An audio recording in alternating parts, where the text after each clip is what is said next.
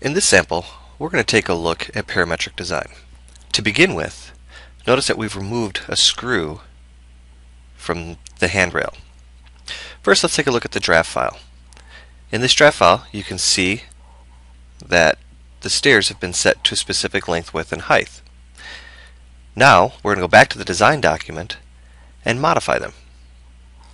Here we'll enter a value of 850, 1400, and then how about 1800 for its height?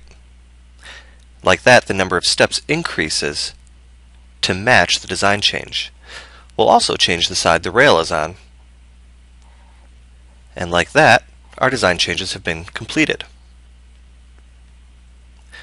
Next, let's take a look at the draft document, and you'll notice that the draft document reflects these design changes. From here, let's see how we can use this out in the real world. Maybe you have a sales team that goes out and measures where these stairs are going to be placed. That sales team has maybe the following Excel file. Like that, all they need to do is enter the field measurements in and choose which side the rail is going to be on. From there, they'll send you the Excel file, which of course then you'll just open up inside of TopSolid 7 to grab the values and have it update the design.